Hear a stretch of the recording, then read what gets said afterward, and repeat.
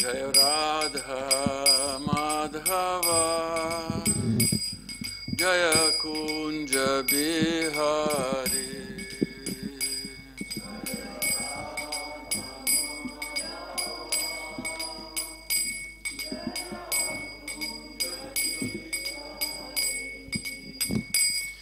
जय राधा Madhava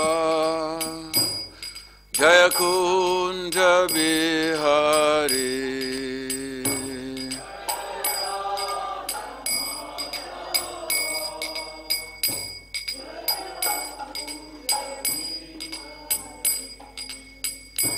Jaya Hopi Janavalabha Jaya Hirivaradhari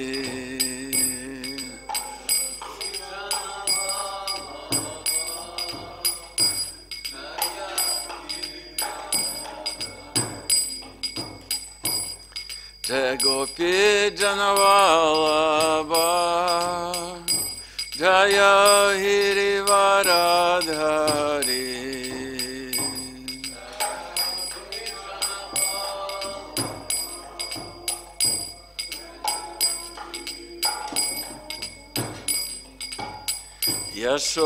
Yashodanandana Braja Janaranjana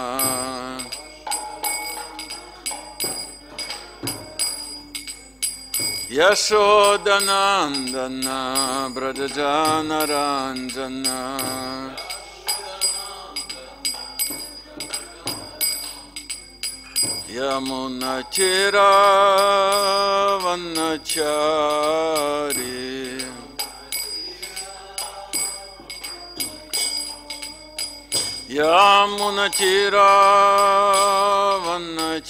यमुनचिरावन्नचारी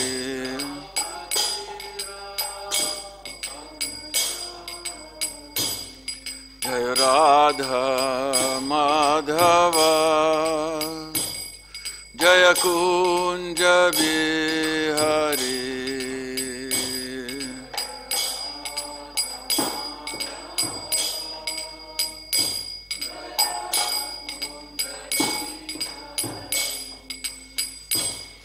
हरे कृष्ण हरे Krishna.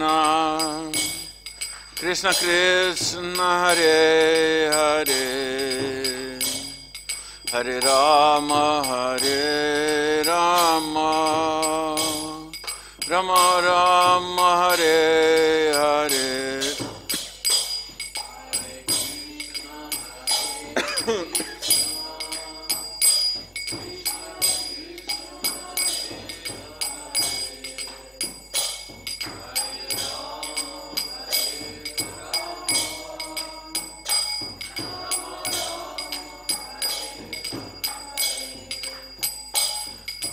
Krishna, Hare Krishna, Krishna Krishna, Hare Hare, Hare Rama, Hare Rama, Rama Rama, Hare Hare.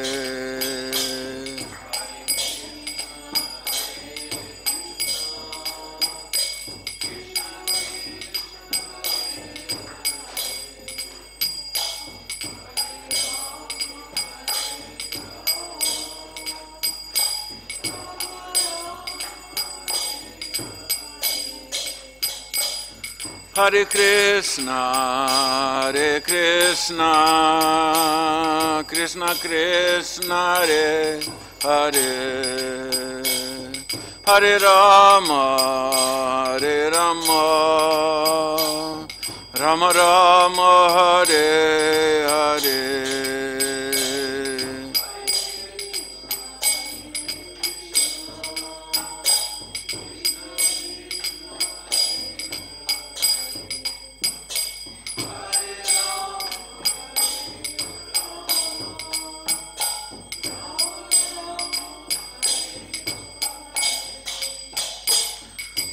Radha माधव। जय कुंज बिहारी।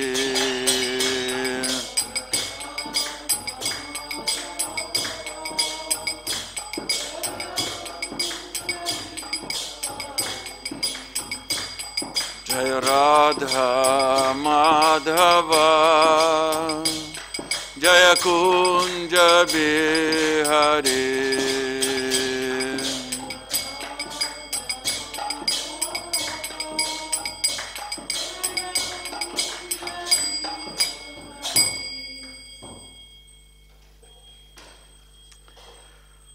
नमो भगवते वासुदेवाय।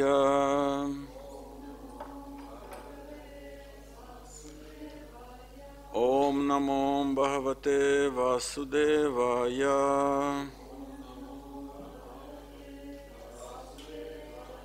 ओम नमो भगवते वासुदेवाय।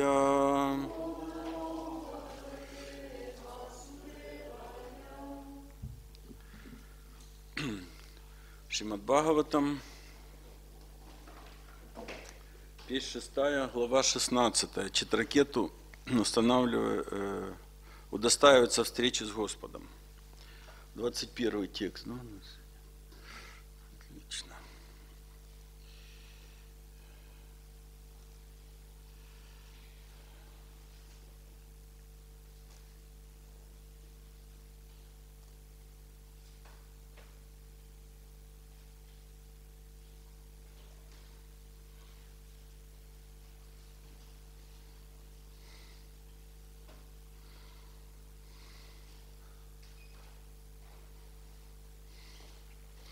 Давайте по- повторим вместе.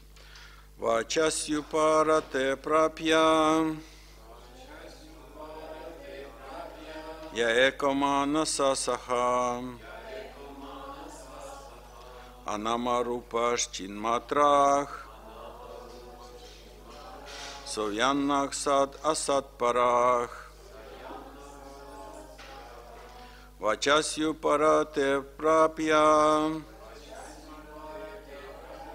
Манаса саха. Анамарупаш чинматрах. Совьяннах сада сатпарах. Вачасью парате прапья. Я эко манаса саха. Анамарупаш чинматрах. Совьяннах сада сатпарах. Пожалуйста, кто-нибудь еще. Часью парате прапья. Я эко манаса саха. Нашу пащиматра.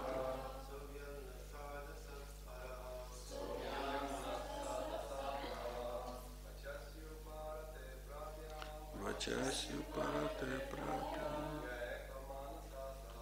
Я эко манаса саха.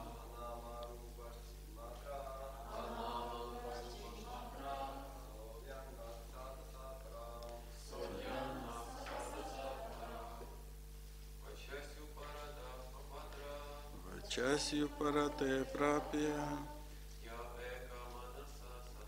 Я эко манаса саха. Анамару Пашчиматра.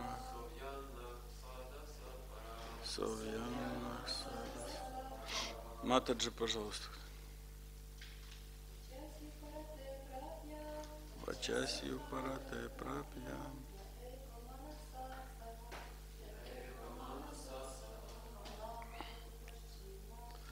Анамару Пашчиматра. Совьяна Садасатпара. Пословный перевод. Вачаси слова упарате, когда умолкают, а пропья, не достигнув цели. Ях, тот, эках, единственный, манаса, с умом, саха, вместе, анама, не имеющий материального имени, рупах, или материальной формы. Чит матрах полностью духовный. Сах он. Авьят да хранит нах нас. Сатасат парах причина всех причин. Перевод.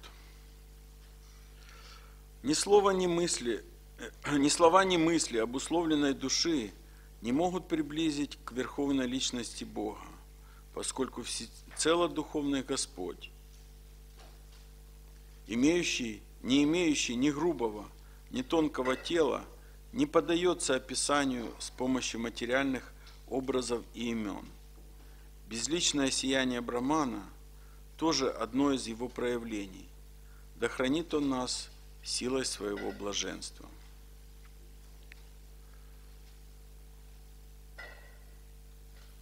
Сейчас еще раз прочитаю.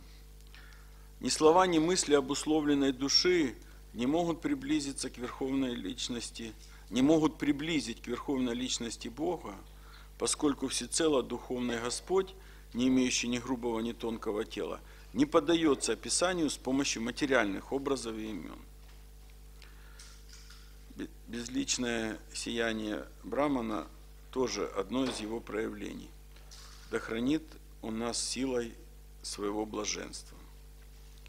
В этом стихе комментарии Шилы Прабхупады. В этом стихе описывается безличный Браман или сияние, исходящее от Господа. Читаем следующий стих, 22. Ясмин дам я ташчедам, тиштхатья пети джаяте, мрин маеш ивам риджатис, тасмайте брахмане намах. Подобно тому, как глиняные горшки создаются из земли, покоятся на земле – и, разбивая, снова превращаются в нее. Все мироздание порождается Верховным Браманом, покоится на нем и после уничтожения погружается в него. Поэтому мы почтении склоняемся перед Господом, источником Брамана. Комментарий. Верховный Господь творит мироздание, Он же поддерживает его существование, а после разрушения – снова вбирает его в себя. 23 стих. Ят нас пришанти на видур мачо мано будхиндрия савах антармахишча витатам вьомаватанато смяхам. Верховный Браман исходит из верховной личности Бога – и как небо простирается повсюду. Он внутри и снаружи всего, но не соприкасается ни с чем материальным. Его невозможно ощутить или постичь с помощью ума и разума, посредством чувств или жизненной силы. Я в почтении склоняюсь перед Ним. И заключительный 24 стих на сегодня – Дехендрия пранаманодхием ми яд амша видхах прачаранти кармасу найван ядала ухам ива прататам стханешута драштра падешам эти. Помещенный в огонь железный пруд раскаляется до красна и сам начинает жечь, как огонь. Так и тело, чувства – жизненная сила, ум и разум, представляющие собой безжизненную материю, приходят в движение, когда Верховная Личность Бога помещает в них крупицу сознания. Органы чувств не способны действовать сами по себе, без милости Верховного Брамана. Так же, как железо не может жить без соприкосновения с огнем. Комментарий о божественной милости Аче Бхактивиданта с вами Прабхупада. Шила Прабхупада Кича.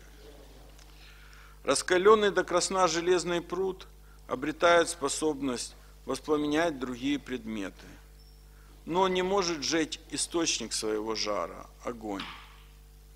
Поэтому сознание крошечной частицы Брамана полностью зависит от силы, которую она черпает в Верховном Брамане. В Бхагавадгите Господь говорит «Матак смритир джаннам апоханам чам». Я дарую обусловленной душе память, знание и забвение. Способность действовать мы получаем от Верховного Господа. И когда Господь лишает нас этой силы, мы больше не можем воспользоваться ни одним из органов чувств. Тело имеет пять органов восприятия, пять органов действия и ум. Но все они просто безжизненная материя. Например, мозг создан из материи, но оживленной энергией Верховной Личности Бога он начинает работать, подобно тому, как раскаленный огнем начинает жечь железный пруд. Наш мозг работает, когда мы бодрствуем или даже когда мы спим. Однако во время глубокого сна или в обморочном состоянии мозг бездействует. Поскольку мозг представляет собой сгусток материи, он не может действовать сам по себе. Только по милости Верховной Личности Бога – которая суть Браман или пара Браман, мозг начинает действовать. В этом проявляется вездесущность Верховного Брамана, Кришны. Подобно тому, как Бог Солнца пребывает на планете Солнца, но в то же самое время в виде солнечных лучей пронизывает весь мир, Верховный Господь известен под именем Хришикеши. И это значит – что Он единственный повелитель органов чувств. Пока Он своей энергией не приведет наши чувства в движение, они останутся безжизненными. Другими словами, Он единственный наблюдатель, единственный вершитель всех дел, единственный слушатель, единственное движущее начало и верховный повелитель. Конец комментария. Om Gyanati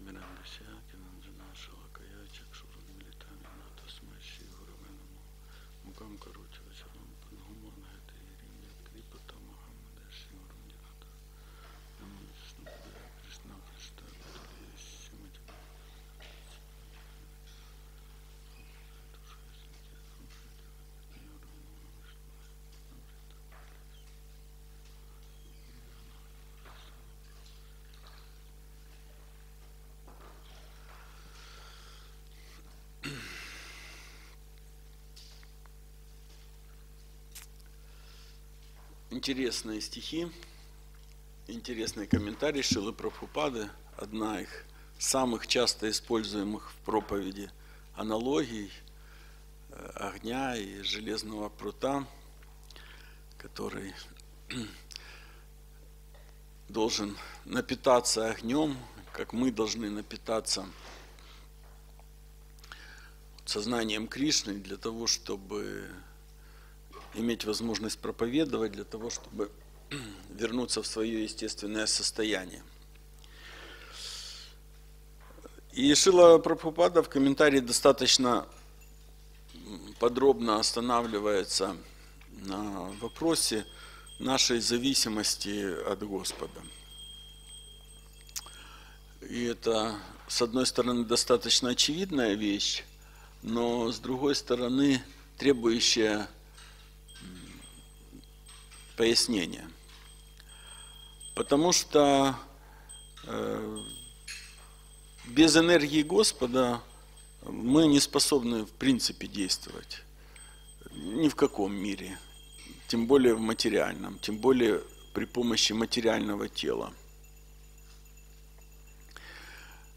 Вот. Ни мозг, которому уделяют так много внимания материалисты, но есть научно описанные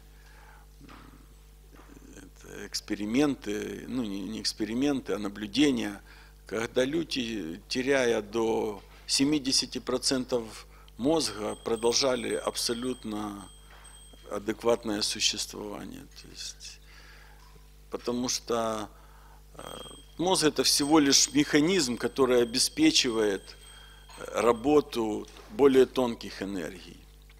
Не любые другие наши тонкие чувства, то ли э, познающие, э, они не могут работать без этой энергии Господа. И, в общем-то, если читать комментарии, во всяком случае, у меня такое первое впечатление э, складывается, что такая в чем тогда наша роль, в принципе. Это без Господа, без Его э, ну, как бы, разрешения, дозволения, энергии и всего остального, в принципе, мы не можем ни думать, ни чувствовать, ни, ничего, в принципе, недоступно. Если мы настолько зависим, ну, абсолютно зависим от Господа, то в чем тогда наша роль?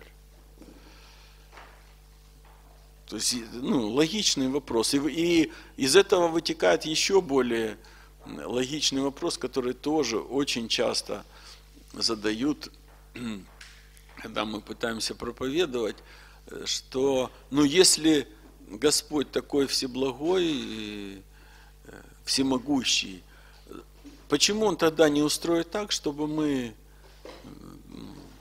не совершали глупостей, в конце концов, не совершали дурных э, поступков, не страдали за них потом? Зачем вся эта такая сложная система, эти законы кармы, эти наказания, адские планеты, эти поощрения – Э, райские планеты. Ну, такие как бы запутанные вещи. Ведь так или иначе он контролирует все процессы. Он дает энергию, он дает разрешение. Это мы полностью от него зависим. Вот. Задавали всем наверняка такие вопросы. Почему Господь не, не решит этот вопрос сразу? И как вы отвечали?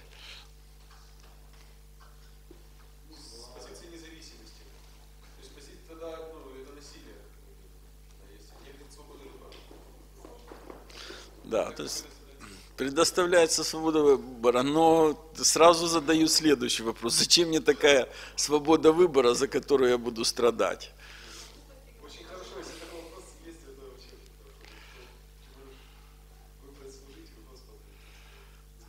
Служить Господу, что за глупости? Служить Господу. Я наслаждаться пришел. Это, это что? Это ты создал этот материальный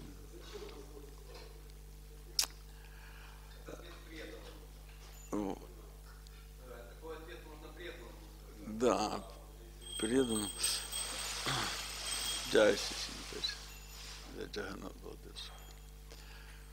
Да, то есть люди очень достаточно разумно как бы начинают дискуссию. То есть они говорят, ну хорошо, да, Господь всемогущий. Почему Он делает так, чтобы я страдал? Ну не греши так, ну пусть делает так, чтобы я не грешил. Я без Него даже пожелать не могу ничего тут. Это говорит, ну так используй свободу выбора. Так если Он всемогущий, пусть Он эту свободу выбора подкорректирует, он же может меня там вдохновить на какие-то хорошие вещи. Чего я вот это ерундой тут всякой занимаюсь? И вопрос, то есть что на это ответить? Ну вот этому же Господь специально, что ли, вот это создает такие условия, где мы начинаем грешить, запутываться, и Он потом начинает нас наказывать за это. Не, ну как сами захотели – ну, Господь всемогущий, это, а мы тут сами что-то могли захотеть. Мы тут пишется, Шила Прабхупада, подумать даже ничего не можем без Господа. Не то, что там что-то сделать.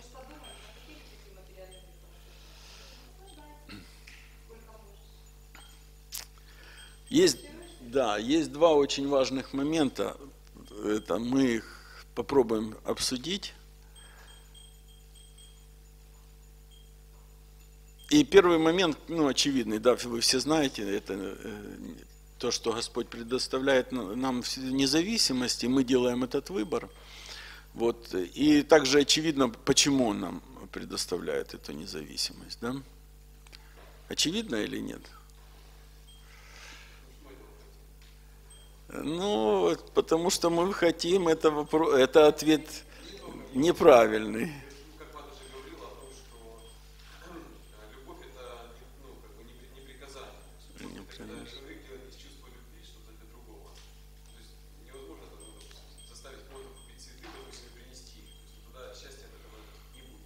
Можно даже пойти на 8 марта самой себе купить цветы идти там. Ну, не радоваться, да, ну не радоваться, идти и понимать, что какой-то отстой. Да, ну давайте вернемся к этому очень важному тонкому моменту. То есть э, независимость э, – это обязательная составляющая любви. Да, то есть, и мы можем какими-то штампами и э, формулировками это э, как бы принимать, ну да, хорошо, но очень важно понять вот эту суть. Это, потому что Господь это единственный источник и носитель, как мы читаем, всего и любви в том числе. И в первую очередь любви. В общем-то, у Господа нет больше ничего. И поэтому огромная цена за возможность общения с Господом, и вот эта глава, где Читракету э, удостаивается встречи с Господом, она как раз рассказывает этот путь и подводит этого. И огромная цена за это, это какая? То есть какая может быть э, цена или возможность, ну или вообще, что должно с нами произойти, чтобы мы имели возможность встретиться и получить общение с Господом. Мы должны соответствовать, ну, то есть мы должны как минимум ну, понять это Господа или оценить хотя бы то есть, эту встречу, ну, то есть э, необходимость этой встречи, хоть на каком-то примитивном уровне соответствовать этому. И вот, поскольку Господь это и есть чистая любовь, то нам нужно э, понимать эту очень важную вещь, что свобода выбора, то есть отсутствие принуждения, то есть наше собственное желание иметь отношения с Господом, это является обязательной составляющей возможности какой-то встречи, отношений и так далее с Господом. Потому что если у нас э, нет этой свободы выбора, то тогда наши чувства, ну, они не искренние, они чем-то э, мотивированы. То есть это значит, что открывается следующая очень важная опция для понимания, что если Господь дает нам эту любовь, то есть если мы получаем от Него это бхакти, то вместе с этой любовью в комплекте идет сам Господь. Потому что Он становится зависимым от нас, Он становится нашим слугой, потому что Он имеет вот это безграничное доверие по отношению к нам. Потому что мы выбрали, мы своей свободой выбора выбрали иметь с Ним отношения. Поэтому не так легко.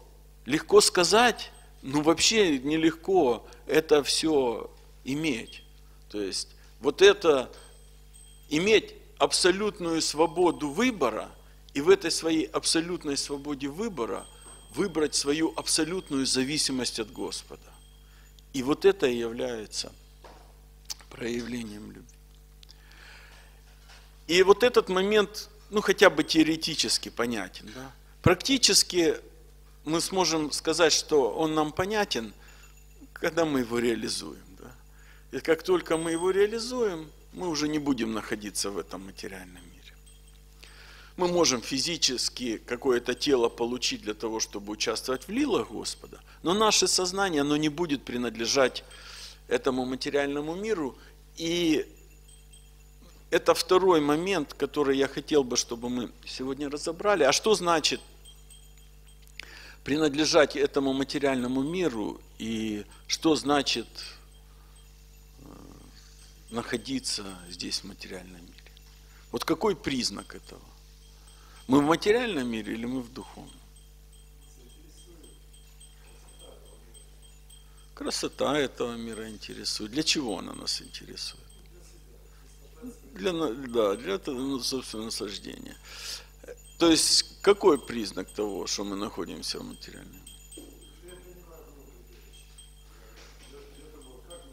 В нем прибежище, зачем я принимаю в нем прибежище? Да, чтобы самому наслаждаться. То есть.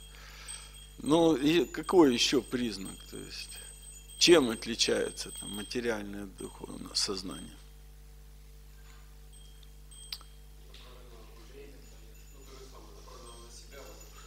Да, да, да. То есть, что бы мы сейчас не попытались придумать, то есть все оно сведется к одному и тому же.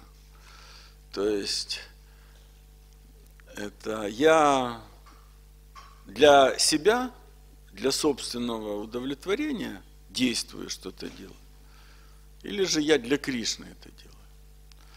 То есть я хожу, хочу наслаждать, или я хочу наслаждаться. И вот это ся, оно и является вот этой очень тонкой, иногда очень незаметной, но бесконечно большой пропастью, отделяющей нас от духовного мира и это возможности отношения с Кришной. Причем это ну, очень и очень как бы мудрено и запутан. Мы, начинается все с грубых каких-то анарт, а заканчивается очень тонкими, даже непонятными. Даже непонятными. Даже полубоги, не, это, хотя они по своему определению преданы Господа, они, как, исходя из каких-то своих тонких мотивов, действуют, чтобы занимать то ли положение какое-то, то ли это долгую жизнь, то ли наслаждение и так далее. Но я сейчас чуть-чуть о другом хотел говорить. То есть, итак, то есть у нас это все уже под один знаменатель подходит. То есть э, у нас есть абсолютная свобода выбора, предоставляемая нам Господом. И вместе с этой свободой выбора в комплекте что у нас идет? Ответственность за этот выбор. Вот. То есть, если мы выбираем наслаждаться, то мы, значит, будем действовать по законам материального мира. Если же мы выбираем наслаждать, то есть если мы выбираем служить Господу, то мы сразу же находимся в духовном мире. То есть все наши взаимоотношения уже духовные. И только вот это ся нас от этого отделяет. Поэтому вот этот э, момент, он определяющий в жизни преданного, потому что мы часто э, на каждой странице книг Шилы Прабхупады он пришел и дал свою любовь, сформулировав ее как? Преданное служение. То есть Шила Прабхупада перевел бхакти, любовь, это преданное служение. Почему? Ну, я надеюсь, мы сейчас эту такую логическую цепочку восстановили, что только через преданное служение мы можем занять свое истинное положение и проявить свою любовь. Потому что что бы мы другое ни делали, любое служение, которое не до конца преданное, это служение себе, и оно не преданное служение. И это значит не любовь. То есть это значит другие отношения. И если другие отношения, для них есть другие места, кроме взаимоотношений с Господом. Если это все понятно, то тогда становится очевидным следующая вещь. То есть, а как эта любовь к Господу, вот в форме этого преданного служения, как она проявилась в материальном мире? В какой форме? как она проявляется и как она вообще действует. То есть я очень замысловато спросил, поэтому сам я отвечу. Это, потому что э, она должна быть какой-то доступной, да, вот любовь. То есть, ну, ну мы сейчас говорим, это достаточно э, формальные фразы. Все. Ну, да, любовь, да, преданное служение. Надо делать преданное служение, чтобы получить любовь. Классно? Все, мы уже знаем, как Господа за бороду поймать. Делаем преданное служение, он попадает к нам в зависимость, и все. Реализуем все свои желания. Вот. И для того, чтобы у нас не было этой возможности, то есть Господь проявил эту любовь э, в этом мире в форме со своего великого сострадания. То есть, то есть вот здесь, в материальном мире, особенно в Кали-Югу, это проявляется в форме сострадания. И Господь Чайтанья сам пришел и показал, как быть преданным, что значит надо быть. Он сам пришел в форме преданного. И Шила Прабхупада приехал ну, из Вриндавана, то есть освобожденная личность, сам Господь его попросил прийти и распространить это знание. То есть мы все, все эти истории знаем, но, но нам нужно понять, недостаточно просто слышать это. То есть каким огромной любовью должен был обладать Шила Прабхупада, то есть это абсолютной любовью. Абсолютной любовью, это значит, он имел прямой контакт с любовью Господа. Для того, чтобы прийти из сострадания к нам здесь, прозябающим в этом материальном мире, запутавшимся в этих хитросплетениях желаний, наказаний и всего остального, чтобы прийти и дать нам возможность восстанавливать отношения с Господом, вкусить эту чистую любовь. То есть это огромное сострадание, это огромная любовь, проявленная вот в этом сострадании. То есть, э, и самое главное, то есть итог этого сострадания, это этот пример, который мы имеем от Шилы Прабхупады, от его последователей, от всей Гуру Парампары и от самого Кришны, который пришел в образе Господа Чайтани, для того, чтобы у нас абсолютно безнадежных живых существ, абсолютно неправильного, пользующихся своей свободой выбора, появилась эта возможность, этот пример, этот образ, как же нам воспользоваться этим состраданием, этой любовью Господу, выраженной в форме сострадания, и начать свой путь к встрече с Господом. И теперь у нас опять есть свобода выбора. И теперь опять мы можем сделать этот выбор в очередной раз. Что мы будем делать? Мы будем наслаждаться или мы будем наслаждать? И в этой свободе выбора есть, есть путь и есть понятные действия, которые мы можем и должны реализовывать.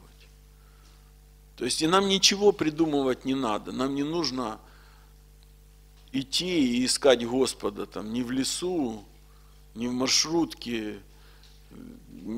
Он в святом имени. Он проявился в святом имени, Господь Чайтанья дал его. И мы эту свою свободу выбора, эту свою ответственность и эту данную нам пробничек этой любви в форме небольшой шрадхи – можем раздуть и развить, это, постепенно развивая свою э, веру только одним путем, если мы будем следовать по стопам преданных, которые уже этот путь прошли. И что это значит в контексте того обсуждения, которое мы сегодня ведем? Что мы должны все-таки понять и найти где-то в себе, глубоко в сердце, вот крупицу такого же сострадания, которое проявил Господь Чайтания, которое проявил Шила Прабхупада, которые пришли в этот материальный мир, разыскали нас и смогли посадить это семя любви, это семя бхакти, благодаря этому состраданию. И если мы найдем где-то, то тогда у нас есть шанс делать правильный выбор и формировать правильные желания. И проявиться это может очень просто. Мы должны идти к людям, которые еще не знают об этом, и рассказывать, и проповедовать. И сейчас очень благоприятное время. То есть буквально завтра начинается марафон Шилы Прабхупады. Юбилейный марафон, где у нас, где нас еще раз стимулируют, еще раз дают возможность проявить эту свою любовь в форме сострадания. Взять книги Шилы Прабхупады – которых все это написано, в которой на каждой странице написано любовь Господу, любовь Господу, любовь Господу, словами преданное служение, преданное служение, преданное служение. Мы можем взять эти книги и не для себя любимого, не для того, чтобы сякать тут, а для того, чтобы идти и служить, и наслаждать, и радовать наших старших, Шилу Прабхупаду, Господа Чайтанию. Распространять это знание, потому что самое большое удовольствие, самую большую радость, которую мы можем доставить Кришне, и это единственное, о чем у него болит голова там в духовном мире, несмотря на все его могущество, несмотря на всю его бесконечная власть и абсолютность, абсолюта – которая у него есть, у него болит голова.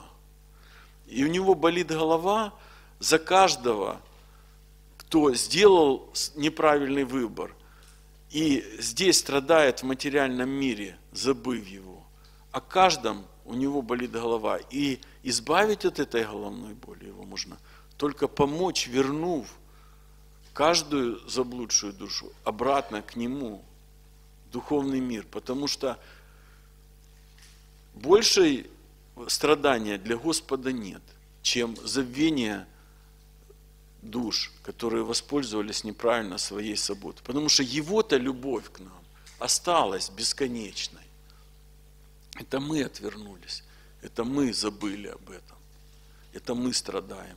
И Он переживает. Мы даже забыли, что мы страдаем, а Он за нас переживает. Поэтому если мы поможем – тем преданным, которые это поняли, пришли в материальный мир и, ведомые этим безграничным состраданием, рассказали нам, как же мы можем спастись, как мы можем обрести эту любовь. Мы поможем большему количеству этого узнать, то мы сможем спастись сами и лишить этой боли Господа. И тогда мы восстановим эти настоящие чувства, и тогда мы приобретем эти качества огня, как железный пруд, который приобретает качество огня. Мы пропитаемся этой духовной энергией. Об этом качестве огня говорит Шила Прабхупада. Мы должны пропитаться этой духовной энергией. Эта любовь духовного мира должна трансформироваться в нашем сердце как сострадание ко всем живым существам – и мы должны взять вот эти таблетки, которые сделал Шила Прабхупада удобоваримой форме, укомплектовал, чтобы уже в капсулке такие гладенькие и легенькие, чтобы они заходили незаметно. Мы должны их разнести или раздать всем страдающим людям этого мира. И в этом будет успех. И сразу же мы откинем все эти ся и будем просто служить и наслаждать Господа и Его преданных. Всякие все эти автоматически потом присоседятся. Мне сказали, надо оставлять время на вопросы.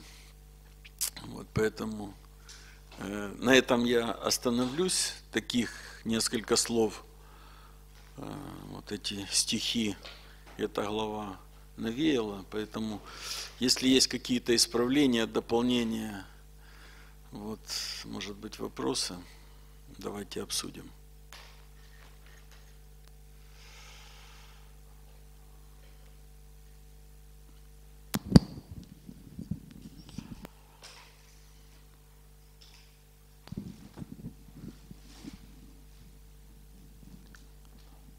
Харе Кришна. Харе Кришна. Примите, пожалуйста, мои поклоны, мои почтения.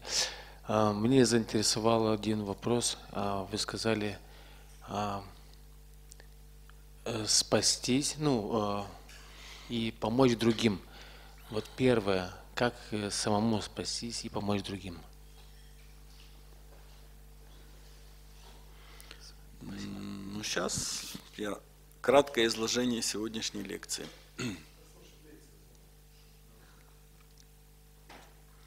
нужно найти того, кто уже спасся.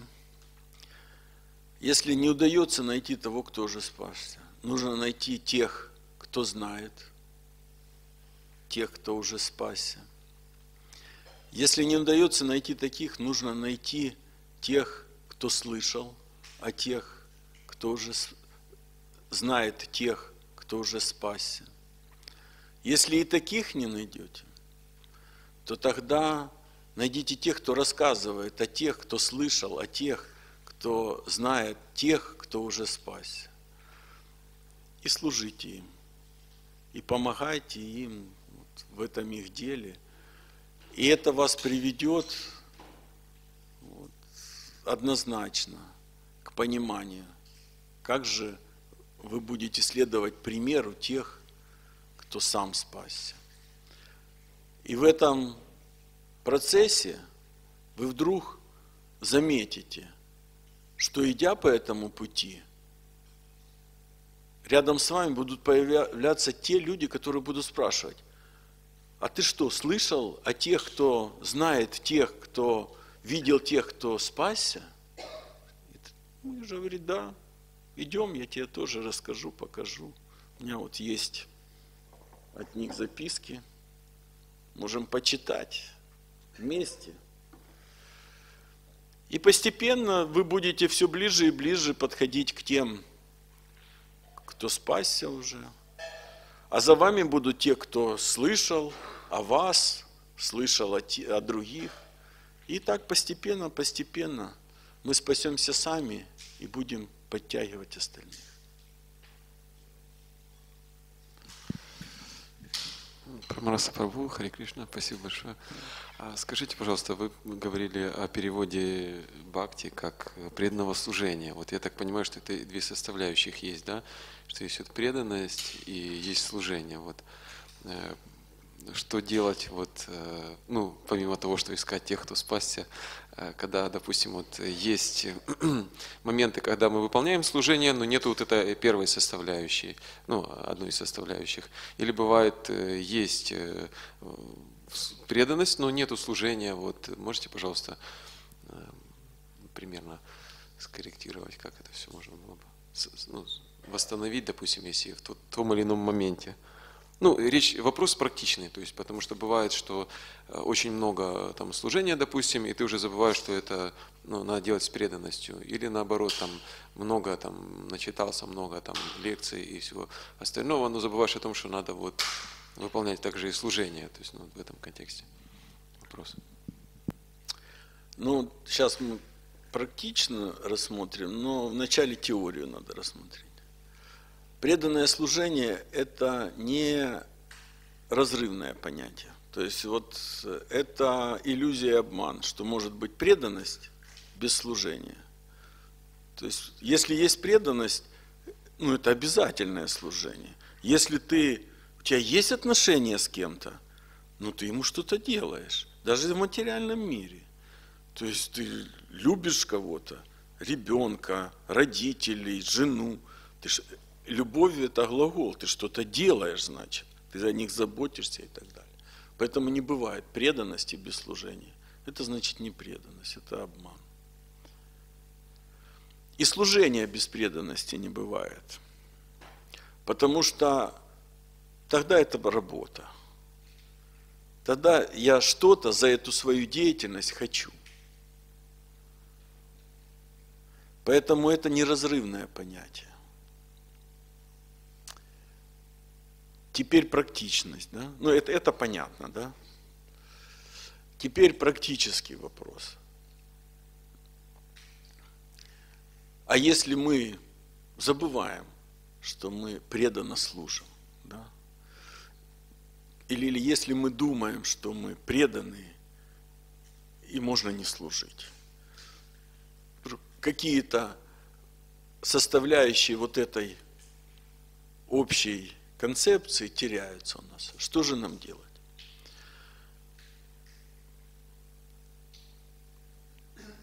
Э, ну, во-первых, мы должны понимать, что это нормальное состояние. Вот все мы здесь, как мы в начале лекции говорили, то есть все мы здесь, в этой лечебнице, и вот в таком безумном состоянии, и все время хотим быть преданными без служения, или служить себе любимому, и, и себе же предаваться, то есть без преданности кому-то. И что делают с больными людьми? Знаете, вот, э, там больные, когда они там попадают Наполеонами или все, их это, это, им первое, им устанавливают режим дня. То есть их начинают это кормить по часам, там, выгуливать и так далее. Второе, то есть психические э, заболевания, это лечатся химическими препаратами. Химические препараты двух это, видов действия. Первые, они тормозят э, деятельность чувств, то есть такие транквилизаторы всевозможные, которые эту возбужденность тормозят. Второе, то есть э, это, это препараты, которые формируют гормоны, необходимые для человека, там, гормоны счастья, все всякие там эндоферины и так далее. Потому что у такого человека собственные гормоны организм уже не может вырабатывать. Они атрофировались эти все. И поэтому ему нужно какое-то время, чтобы он начал это, запустить этот механизм. И вот в таком режиме, то есть устанавливается режим дня, то есть это понижается деятельность, возбуждающая чувств, и дается альтернатива. Поэтому самый опытный э, врачеватель душ Шила Прабхупада вот нам это все дал. Он установил нам садгану, четкий режим дня, как мы должны действовать. Он дал нам регулирующие принципы, которые тормозят э, наши возбужденные чувства – и Он дал нам эти таблеточки любви, которые дают это по чуть-чуть этот вкус духовных взаимоотношений.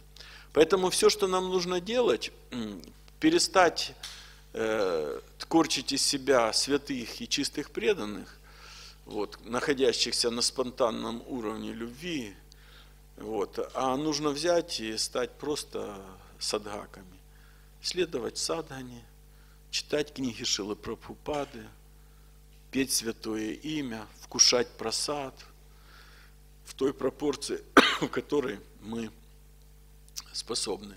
И постепенно этот авторитетный процесс от самого лучшего доктора приведет к тому, что наш организм начнет сам вырабатывать эти гормоны счастья, эти гормоны вкуса, и, и мы постепенно из сумасшедших людей с атрофированными восприятием реальности начнем становиться нормальными.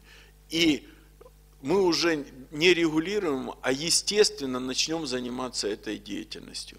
И тогда уже в нашей голове даже не возникнет мысль, что можно разделить понятие преданного служения, что мы можем быть преданными без служения, и что мы можем служить, не понимая кому. Ну, как-то так. Хари Кришна, спасибо большое. Я хотел спросить, э, прояснить. Я слышал, что любовь, она безусловная, да? Ну, настоящая любовь, она безусловная. Все остальное, как бы вот эти вот, ну, современная трактовка любви, да, она же с примесями, и это, ну, не считается любовью. Ее так называют, но она не любовь. Вот, то есть получается, гопи, они ничего не хотят, у них нет свободы выбора. Естественно, для живого существа любить. Правильно?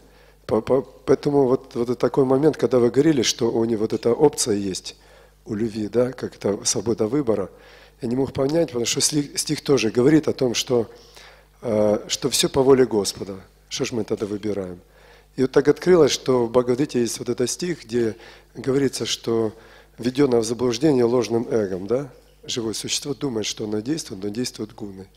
И похоже, гуны, они, когда живое существо находится в иллюзии, то гуны переключают этот поток любви, направленный на Господа, переключают на чувства. И вот это, вот это свобода выбора, где она используется, эта свобода выбора. А когда человек влюблен, там какая свобода выбора? Только как служить. Ну, я слышал такое, что правильно, правильное предназначение э, свободы выбора, вот это, о которой все говорят, это как я могу служить? Как, я, я вопрошаю, как я тебе должен послужить? У меня есть свобода выбора, но я не знаю, приготовить тебе или пойти на харинаму или еще что-то. Вот вот здесь вот. Вот такой момент. Я хотел, ну, прояснить, правильно я понимаю или нет? Ну, правильно. Да. Все, спасибо, хорошее дополнение. Положение души, она бездействующая. То есть у нее есть только одна функция. То есть какая? Да. То есть она только желает. Вот это единственное, что она делает. А дальше, в зависимости от этого желания, то есть то, как вы описали, или гуны материальной природы начинают выполнять это желание, если эти желания материальные, если к ним ся добавилось. Или же тогда чистые взаимоотношения с Господом, и там уже йога майя устраивает все бесконечное многообразие возможностей преданно служить. И для того, чтобы иметь бесконечную возможность преданного служения, как противовес есть ответственность. Как в люб- ну, мы видим, ну, так, так устроен мир, так Господь создан это. То есть и вот эта ответственность, это то, что мы должны делать этот выбор все время. Желания наши должны быть вот в эту сторону, а не в материальную. То есть мы полностью зависим от святых, да? Если нам получилось услышать вот это ихнее желание нам перешло, потому что у нас же, мы же попали в эту среду, где неправильное желание. Да. И Если нам повезло, мы услышали, где-то уловили это желание, вот с этого начинается как бы меняться наша жизнь, да? Ну Правильно да, же. не то, что даже зависим, это просто э, единственная возможность. И поэтому я и говорил, что это великая удача, проявившаяся в эту калиюгу в короткий промежуток времени, вот, э, сострадание чистых преданных, и по какой-то там непонятной удачи мы оказались. Поэтому не воспользоваться этим было глупо, будет глупо. А воспользоваться этим можно только одним, это нести дальше. Не- Да, этого не- Господь не лишает нас, никогда не лишает.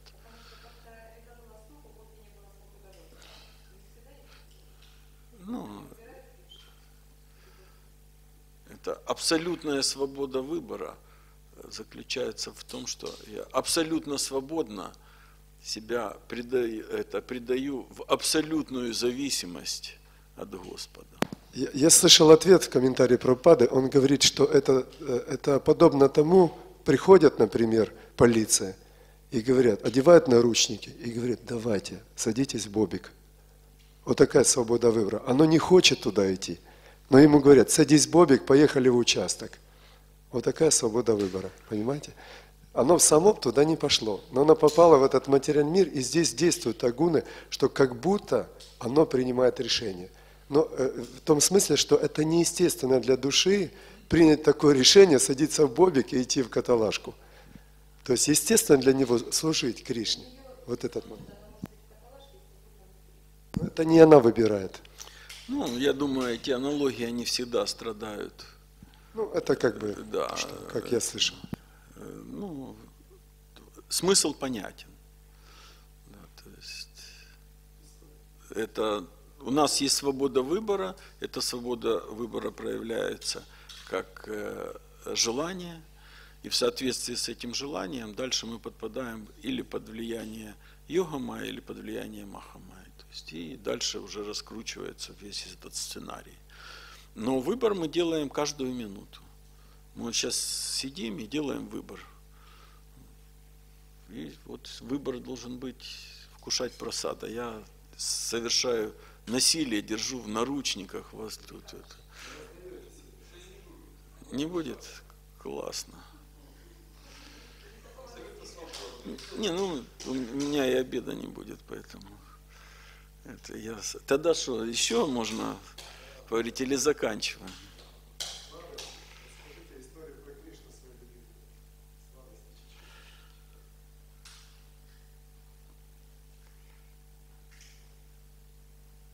Я? А,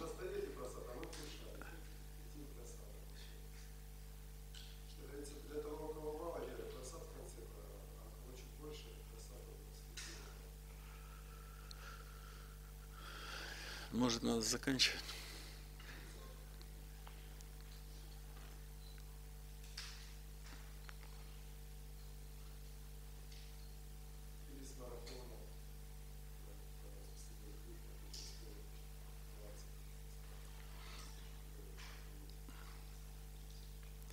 Это, слышали историю, которую Ачутаприя Прабу рассказал недавно?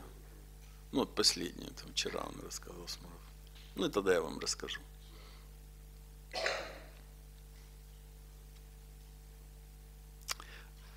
Э, Был один преданный на Западной Украине.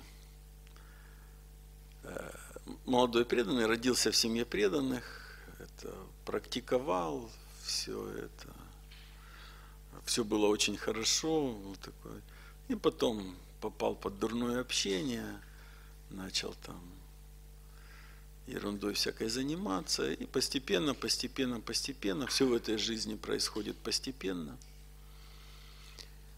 Вот. Перестал практиковать, начал вести обычный материалистичный образ жизни. Вот. И у него была там какая-то недвижимость, полученная по наследству в центре города, и какие-то в общем, нехорошие люди решили ее прикарманить, э, подложили ему наркотики, там полиция, все его арестовали, этот, в каталажку, начали выбивать, там жестоко избивать, то есть это, выбивать показания против себя и так далее. И, в общем, в этой ситуации, там, лежа на бетонном полу, избитый там, в тюрьме, он вспомнил о Кришне и начал молиться. Господь, пожалуйста, я вспомню про Тебя, я, вот, сделай так, чтобы я опять вернулся к преданному служению. Ну и как-то так произошло, что они там его выпустили, не сумев выбить эти показания, и там еще несколько лет он там откупался, как-то пытался решить этот вопрос. Ну, в конце концов, там что-то получилось. И во время всех этих э, страданий, то есть э, он молился Господа, что как-то верни меня. И си- сидя у себя дома, очень это, сильно молился, пошли мне преданных. Ну, он потерял связь с преданными, все. И тут открывается дверь, и заходит преданный с книгами. И он падает в Дандават. Но параллельно с этим развивается другая история. Другой Бакта пришел в храм, только пришел еще, там, только познакомился с сознанием Кришны, и тут начинается марафон Прабхупады, и все говорят, все идем распространять книги. Это самое главное служение, самая лучшая деятельность. Ему тоже выдали эти книги. Все, он пошел. И ходил целый день, ходил, ни одной книги не продал. И вера его слабая, настолько уже это, он стал, он уже все, это сознание Кришны, какой-то развод, все, ухожу, не нужно мне. Ну ладно, вот еще для очистки совести зайду вот в последний подъезд, и если ничего не будет, все, никто меня здесь не увидит больше. И вот он там поднимается на верхний этаж, как обычно санкиртанщики же делают, и спускаясь. Звонит в квартиру, открывается дверь, и человек, который его увидел, падает перед ним дандават. Вот так встретились, вот так Кришна свел двух преданных, спас обоих одновременно. Поэтому куда нас с книгами пошлют и кто? Мы должны всегда помнить и я думаю, только ради таких историй можно бесконечно заниматься долго санкиртан. Хорошо, спасибо, преданные. так злоупотребил ваше внимание. Грантарад Шримад Бхагаватам Ки Джай, Шила Прабхупада Ки.